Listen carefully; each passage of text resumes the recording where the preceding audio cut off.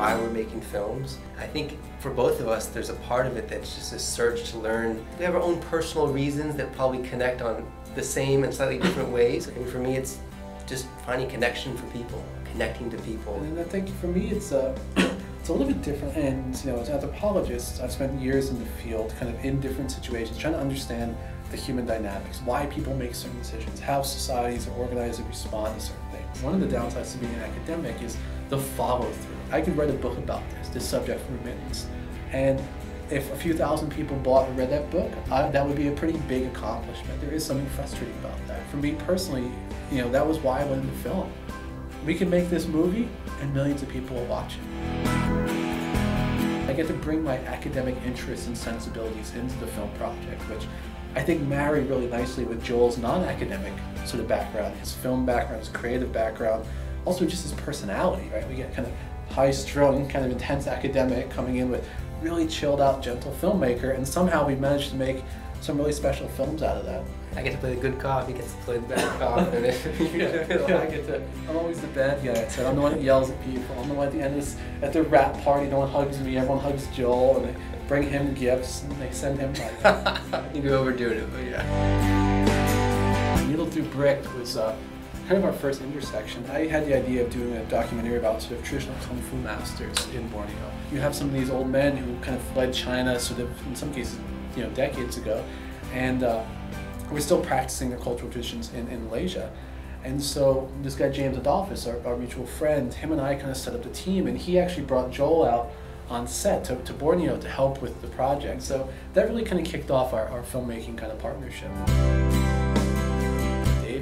shot that a couple years ago. David's about a, a 10-year-old Muslim boy who develops a friendship with an Orthodox Jewish boy who mistakes him for being Jewish. Part of what people have liked about David, you know, were, were the details. And we get actually a lot of credit that we don't deserve. Especially in the films that we're doing, which deal with a lot of uh, cultural uh, details. And that's such an important aspect of what we're trying to do here.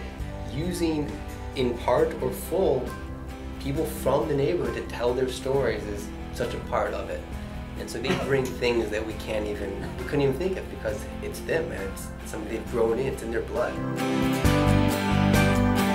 Remittance. We initially thought about doing it as a documentary. I think one of the reasons why we didn't want to do that is A, uh, I think a lot of the subject matter is very sensitive. And while we've gotten tremendous amounts of personal stories from people, I think people will be much less comfortable telling those stories to the camera themselves and exposing themselves.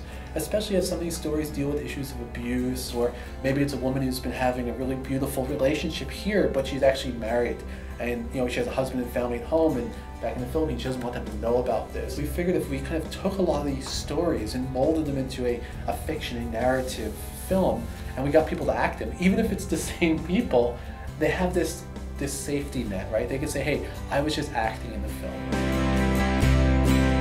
All the films that we've done, we've had fairly small budgets. If you don't spend a lot of money on the film, you can't lose a lot of money on the film. Uh, but then, of course, you have to make other decisions, other creative decisions, practical decisions to get the job done. I think coming from a doc background or having done documentary work where you can't control any of the variables, you have to really just kind of picking things up as you go being comfortable working in an area where you can't control it. Part of the mantra is, I mean, I remember being at this independent film panel a few years back before making David, and I was listening to this one director, Brad Anderson, and he says, you know what, you just gotta do it. And I think that's kind of mentality that's helping us in remittance. You just have to do it. If you get too worried about it, trying to line everything up, waiting for the perfect script, waiting for the perfect this, that, whatever, it probably never happens. So you just kind of say, you know what, we're making a movie.